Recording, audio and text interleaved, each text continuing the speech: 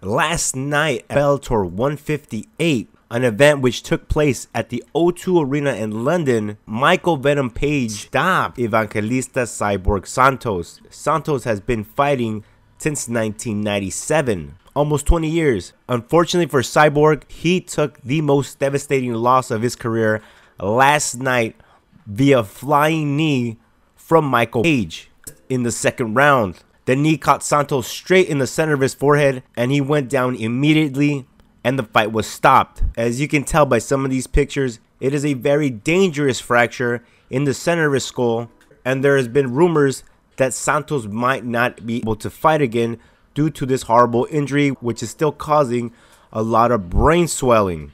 His ex-wife, Cris Cyborg, has started a GoFundMe account for her ex-husband Link for that in the description as well as video of the actual fight.